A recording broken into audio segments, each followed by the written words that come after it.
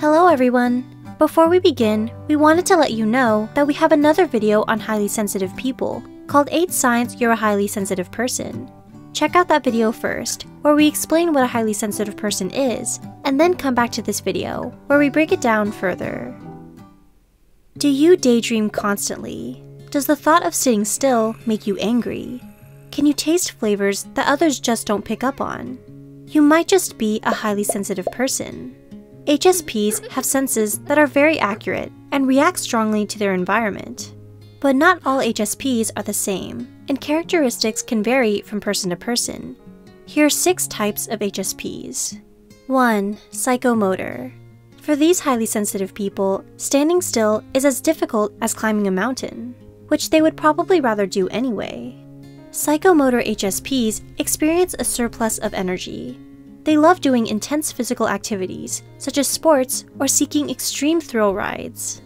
Psychomotor HSPs also compulsively talk it up, usually very fast, and are very personal and can get quite touchy-feely. Some downsides may include being too competitive and prone to nervous habits, such as biting fingernails and also being workaholics. 2. Sensual. For these HSPs, life is lived in a kaleidoscopic sensory wonderland. All five senses are enhanced and highly accurate. Music becomes more soulful, pancakes are more flavorful, and art can be a downright spiritual experience. As children, sensual HSPs can be very picky eaters and predisposed to overstimulation very quickly. It's important for them to have lots of downtime to unwind from noisy crowds or flashing lights. By contrast, there is a danger of overindulging in food and sex. 3. Intellectual. An intellectual type HSP is characterized by a penchant for asking questions and reflecting over their concentrated thoughts. These HSPs have a tenacity for problem solving, can recall information in vivid detail, and observe others with the keen sense of a hawk. The search for truth is of utmost concern to them in a world that doesn't seem to make sense. If there is a weakness associated with this type, is that they are too preoccupied with logic and can be extremely critical of others. They are also extremely critical of themselves. 4. Imaginational. These are the people who have notebooks filled with scribbles of characters and writings. The inner machinations of their mind are often dramatic and poetic depictions of what they perceive in real life, all to reconcile the sad truth that reality is just not as good as fantasy. Their intense emotions often spill over into vivid dreams. It can be hard for these HSPs to distinguish between what is real and what is fake. These HSPs have an extremely low tolerance for anything boring. 5. The Orchid Child According to Professor Bruce Ellis, most children survive and even thrive in whatever circumstances they encounter, like dandelions. Orchid children are biologically sensitive to context, which means they are more sensitive than their dandelion counterparts.